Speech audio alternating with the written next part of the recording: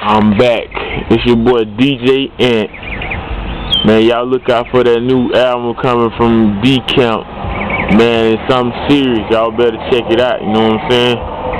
Five tracks, five songs, some real shit, dog, that you can relate to. I'm co-signing it. And I ain't no gangsta ass nigga, but I keep it 100. It's fire. Y'all go check it out.